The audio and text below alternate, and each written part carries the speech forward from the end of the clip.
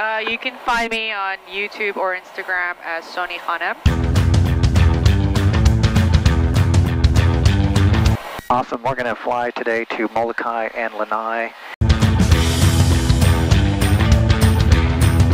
And this is uh, first time flying to Cirrus, yeah?